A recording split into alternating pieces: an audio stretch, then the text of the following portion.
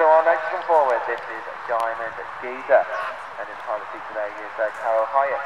Diamond Geezer, who is a five-year-old gelding, who is by uh, Baracello, and after the mare by Diamond Chip, Diamond Geezer.